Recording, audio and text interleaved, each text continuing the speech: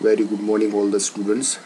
Today we will see the numerical based on the derivation that we have done in the last class. That is the derivation of the stiffness matrix for the truss element. So as shown on the screen uh, this is the truss element of uh, the geometry ABCD as shown. Uh, so for this we have to calculate the joint displacement and the member forces. Okay so basically as it is a truss geometry here only the axial forces will be calculated and uh, bending and shear will be neglected. Because uh, we know very well that uh, in the truss element or in the truss geometry only the axial forces will be predominant. Okay? So as shown on the screen the area of each member is given as 6 centimeter square. Okay? And here uh, at joint A the two forces are coming that is 10 100 kilonewton and 150 kilonewton and here only 60 and 45 these two angles are given. This 120 is already uh, calculated in the calculation part. So we have to consider only 45 and 60 degree here. And this 88,000 kilonewton per centimeter square is uh, 20,000 kilonewton per centimeter square and this 8,000 kilonewton per uh, centimeter square is the value of E of the respective members. Okay. So first of all uh, the most important part is to calculate the DOKI that is degree of kinematic indeterminacy. The same uh, DOKI that we have already uh, calculated in our uh, beam chapter. Okay. So here also we have to see very carefully where the unknown degree of freedom is formed. So as shown on the screen uh, the joint B, C and D are the joint which are having the fixed support. So as we know that as it is a fixed support so there will be a no point of joint translation or displacement will takes place because of the rigidity of the fixed support. But if you see the joint A here the possibility of the displacement in x direction and y direction will be there. So therefore we have to calculate the uh, joint displacement at point A. So we have to start marking. This is the marking pattern. This is the marking pattern. You must understand this. So you have to start marking your unknown from the unknown displacement point. So we I have considered this 1 2 at A because here we have this is a pin joint okay? And here the displacement will be occurs. Okay? So therefore 1 2 will be defined only at the unknown point. So 1 2 is there. Then after this you may go for clockwise or you may go for the anti-clockwise. So i have considered the clockwise uh, pattern. So 1 2 is there. Okay? So here at point 1 and point point 2 we have to calculate the unknown displacement. Similarly then 3 4 is there 5 6 is there and 7 8 is there so out of which this uh, 1 2 is un, uh, unknown. And whereas rest of the thing rest of the notation that we are given that is 3 4 5 6 all are known that is 0 because here the support is fixed support. Okay. So let us see how to solve the uh, numerical. Also we must know that why I have given this one as a horizontal and two is vertical only. Because in the derivation that we have done in our previous lecture we have seen that in the derivation part we have given the unit displacement in the direction of 1 in the horizontal way. Uh, in the horizontal direction first. Then we have applied the unit displacement in the direction of 2 that is a vertical direction. So based on the concept of the derivation that the formula that we have derived in our last lecture so based on the same concept we have to apply the joint. Sorry we have to apply the uh, numbering. Okay? So let us see. First of all the uh, we have to calculate the DOKI that is DOKI we have to mention. 2 is there. That is we have to calculate the DOKI at point 1 and 2 okay? That is the we have to calculate the displacement at point 1 and 2 then the formulation of stiffness member for each uh, uh, stiffness matrix for each member. So first of all I have considered the AD point. So let us see where AD come. This is AD okay? This is AD point. AD okay? So if you see AD 45 degrees there. Okay? So AD CX and CY we have to calculate. Because in our formulation of stiffness matrix cx cy the uh, matrix will uh, comprises of all cx cy value and we know better that cx is represented as a cos theta and cy is represented as sin theta. So cx ad is equal to cx uh, ad uh, at at, joy, uh, at member uh, ad cx and cy we have to calculate. So cx represent the cos theta. So let us see how this 0.707 will come. Okay. So always remember we have to consider the angle from the horizontal axis. Okay? We have to measure the angle from the horizontal axis only. Whenever or whatever the joint we have considered we have to consider the uh, angle to be measured from the horizontal axis. And it should be measured from the anti-clockwise direction. So it is already given as 45 degree from the horizontal axis. Okay? So if you uh, take the calculator and if you calculate the value of cos 45 you will get the value as 0.707 similarly cy sin 45 it will be 0.707 okay? Now ea by l. For l here the value of l is not given. But we have the value of vertical uh, AC is there. So by the geometry we can calculate the AD so sine 45 we know that AC by AD if you see this diagram triangle if you apply the geometry rule of sine 45 it will be equal to AC upon AD so is sine 45 is equal to AC upon AD so we are interested in the length of AD AD is equal to 3 upon sine 45 the answer is 4.25 so L will be 4.2 so we have to calculate the EA by L. That is the outside bracket value of the stiffness matrix first. So EA by L is equal to 8000 the value of E if you see this is 8000 is given then A is the cross section area that is the uniform cross section area which is applicable for all the member is 6 centimeter square we have to put here. Then L we have already calculated 4.24 so you have to solve this and you will get the answer as 113 that is the value of ea by l. Now structural matrix. So this the value or this stiffness matrix we have already derived in our last lecture so based on that we have to apply or we have to see sm1 calculate. We have to calculate the sm1 that is the value of ad ea by l outside the bracket cx square cy this value cx cy and minus cx square and cx cy so here instead of uh, sorry uh, cx represent the cos theta and cy represent the sine theta. So we have calculated this value cx and cy so you have to put this value in this matrix. Okay so if you solve and you multiplied the value of ea by l outside you will get the answer of sm1 as equal to this. And also we know that we have calculated the structural matrix 1 for ad so we have to see which point we have to consider. So this is the point a and this is the point d. So we have to consider very carefully that member and the respective the uh, free uh, degree of freedom point that we have considered we have to uh, consider here. So one we have to consider first then two then seven and eight. So here also 1 to 7 8 and 1 to 7 8 okay? So this value we have calculated based on the derivation equation of uh, structural matrix. Okay? Then we have to consider the second member that is AC so if you see the member AC AC is a vertical member that is the angle is 90 degree for AC okay? So we have to calculate the value of AC cos 90 cos CX equal to 0 CY equal to 0 okay? Now EA by L as the value of E is 20,000 here okay?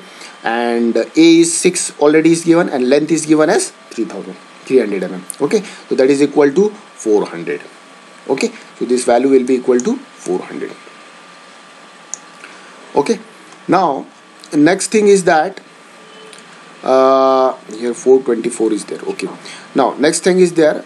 Uh, we have to uh, use the value of L in centimeter. Here also the value of L is considered as a 424 uh, here this.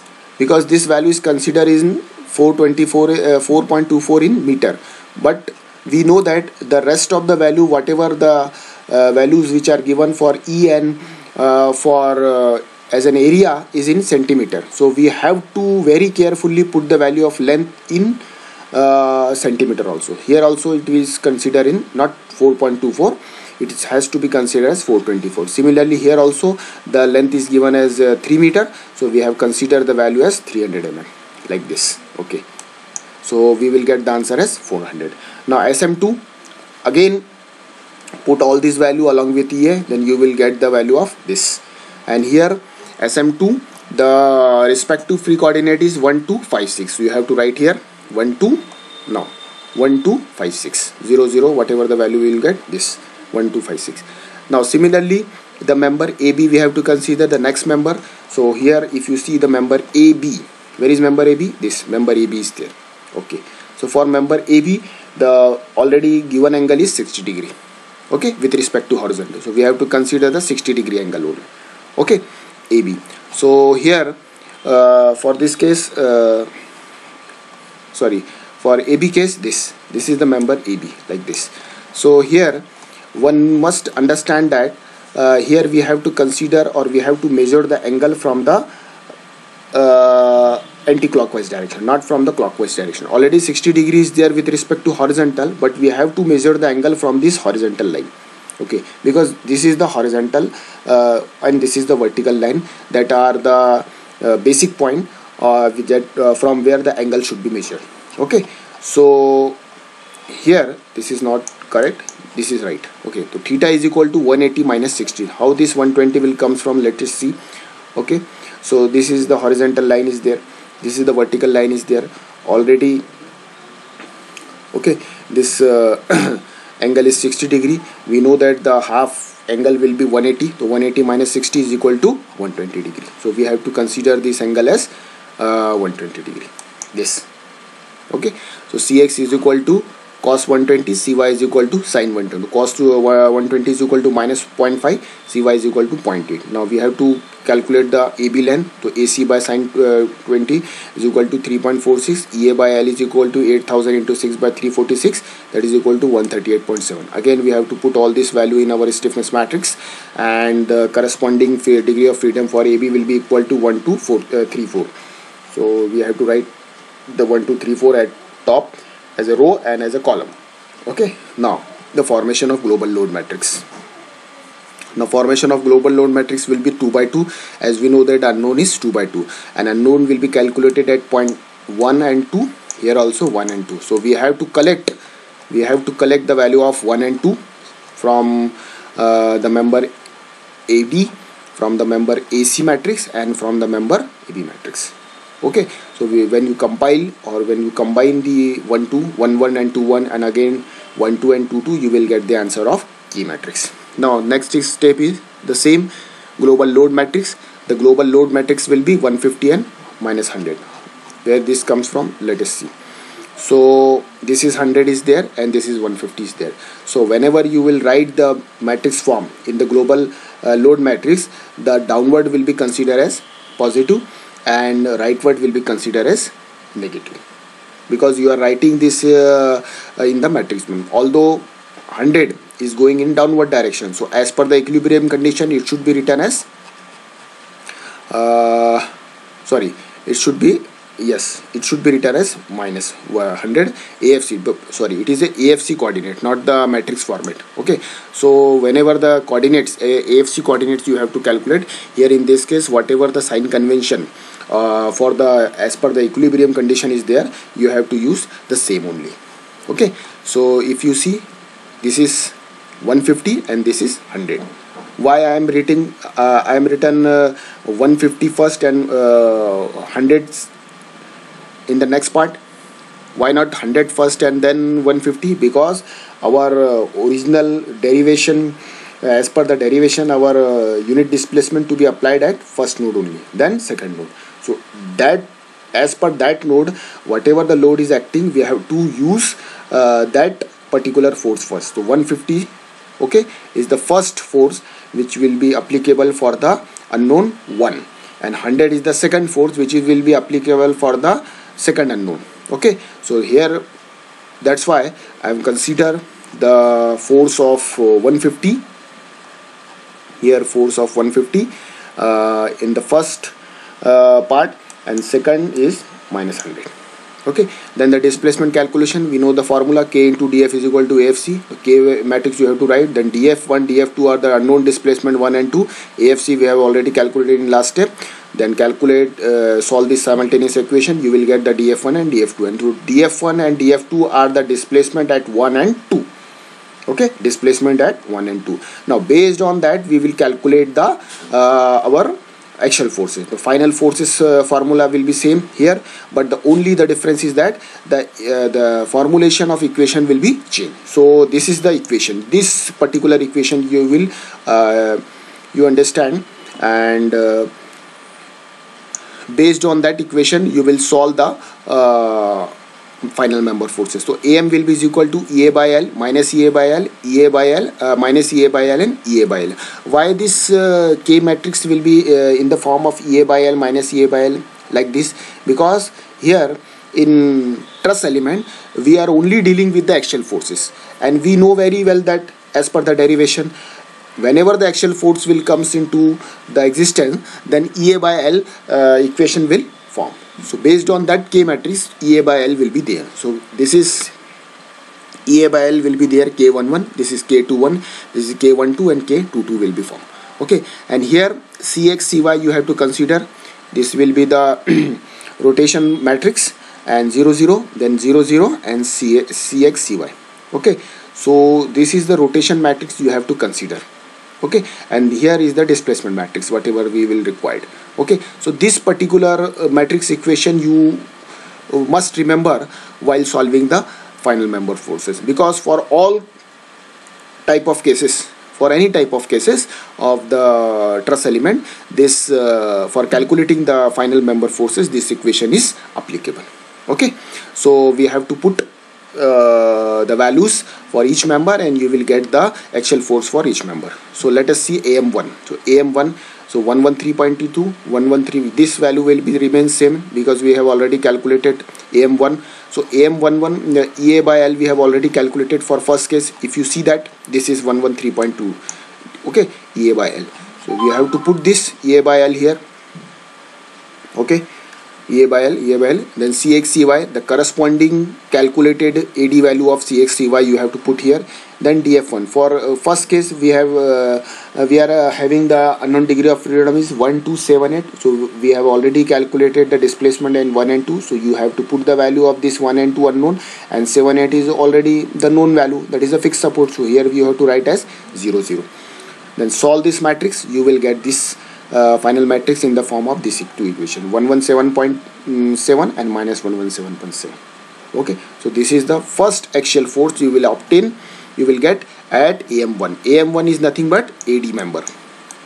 Okay ad member. Then we are interested in am2 okay this 400 minus 400 minus 400 and 400 where this comes from? If you remember we have solved the sm2 okay this. So here we got the value of uh, this 400 so you have to put here 400 then uh, we have to cxcy value we have to put corresponding A B value की जो आपकी सी x की value लगी निकली थी वो आप इसमें रखोगे। उसके बाद इसमें जो करस्पॉन्डिंग जो कोऑर्डिनेट्स है वो हम रखेंगे one two five six one two already calculated है फाइव सिक्स नोन है ज़ीरो रखेंगे। इसको सॉल्व कर लेंगे। इसको सॉल्व करने के बाद अपने को ये वैल्यू मिलेगी सेकंड मैट्रिक्स के लिए। ओके तो ये आपका नेक्स्ट मेंबर के लिए मिलेगा। तो ये कौन सा मेंबर कैलकुलेट हुआ आपका ऑलरेडी ये मेंबर कैलकुलेट हुआ है एसी के लिए। ओके ये कैलकुलेट हुआ है, आप इसको देखो। यहाँ पे एसी के लिए हो गया एसी तो एडी के लिए निकल गया एसी अब ए एम थ्री किसके लिए रहेगा? ए के लिए निकलेगा ये। ये ए बी के ए बी की जो वैल्यू आई थी ए बाई एल वो यहाँ पुट करो। उसके बाद में सी एक्स सी वाई की वैल्यू करस्पॉन्डिंग जो आई थी, वो यहाँ पुट करो। और उसके जो करस्पॉन्डिंग जो कोऑर्डिनेट थे, वो वन टू थ्री फोर थे, वो रखो। वन टू अपने नोन है थ्री फोर ज़ीरो ज़ीरो है, इसको रखो। कैलकुलेट करो, इसमें ये वैल्यू आ गई। ठीक है? अब आपको पता है ये फाइनल जो भी वैल्यू आई है आपकी ए डी की ए सी की और ए बी की। इसमें जो डायरेक्शंस है है ना? यहाँ क्लॉकवाइज है, यानी ये प्लस है। तो वहाँ जब पुट करोगे आप उसमें तो वो क्या रहेगा? माइनस में रहेगा। और ये माइनस वैल्यू वैल्यू क्या रहेंगी? प्लस में रहेंगी, क्योंकि ये मैट्रिक्स फॉर्म में है। और हमको मालूम है कि जब हम उसको मैट्रिक्स से ओरिजिनल डायग्राम में जब उसको रिप्रेजेंट करेंगे तो प्लस वाला जो साइन कन्वेंशन है, वहाँ पे माइनस हो जाएगा और यहाँ माइनस वाला जो है, वहाँ प्लस हो जाएगा। Let us see the force this is A D है ए डी है आपका। अब देखो ए से डी के तरफ़ जा रहा है आपका। इसको कैसे दिखाया मैंने? ठीक है? क्लॉकवाइज की तरफ़ में, है ना? एंटी क्लॉकवाइज की तरफ़ दिखाया इसको। तो ये देखो ए डी में ये है आपका वन वन सेवन प्लस में तो ये बाहर जाना चाहिए था ए डी में। तो पहले वाले को मैंने कैसे दिखाया? देखो यहाँ पे, ये दिखाया है कॉम्प्रेशन की तरफ़ में माइनस में दिखाया दिस इज़ माइनस क्योंकि ये टूवर्ड्स द ज्वाइंट जा रहा था, ये माइनस हो गया। उसके बाद में ऑलरेडी यहाँ पे ये माइनस वाला पार्ट है, यानी जो उसके तरफ़ जा रहा है तो उसको वहाँ पे प्लस में, यानी ये टूवर्ड्स में इसके तरफ़ दिखाएँगे। ठीक है? तो ये हो गया कनेक्टिविटी में वन वन सेवन इसके तरफ़ तो ये हो गया कॉम्प्रेशन मेंबर उसी तरीके से अब हम लोग इसमें देखेंगे दूसरे पार्ट में। दैट इज़ ए डी तो कंप्लीट हो गया। अब ए सी की तरफ़ जब देखेंगे तो वो माइनस सिक्सटी एट और सिक्सटी एट है। तो ये देखो माइनस सिक्सटी एट दिखा रहा है आपका। यानी कि ये उसके अंदर में जा रहा तो इसमें इसको टेंशन में बाहर की तरफ़ दोनों बाहर निकाल के दिखाएँगे। ठीक है? तो ये भी बाहर जा रहा आपका, ये भी बाहर जा रहा ठीक है? उसके बाद में देखो, तीसरा जो है माइनस वन थर्टी फोर वाला पार्ट है। मतलब ये भी कॉम्प्रेशन में जाएगा, लेकिन जब उसको अपन डायग्राम में रिप्रेजेंट करेंगे तो ये कहाँ पे आएगा? बाहर जाएगा। ये भी बाहर जाएगा। तो इसका मीनिंग क्या है कि जो पहला साइन कन्वेंशन होता है इसमें, जो भी पहला इसमें, उसके बेस के हिसाब से आपको उसको डिसाइड करना पड़ता है कि वहाँ पे एक्चुअल डायग्राम में उसका कनेक्टिविटी कैसा होगा। कॉम्परेशन बोले तो नेगेटिव जाएगा टेंशन बोले तो पॉजिटिव जाएगा। ओके इस तरीके से ये न्यूमेरिकल सॉल्व होगा। okay? So we will see more type of numerical based on the same derivation of the stiffness matrix of the truss element in our next lecture. Okay? Thank you for your kind attention. Thank you.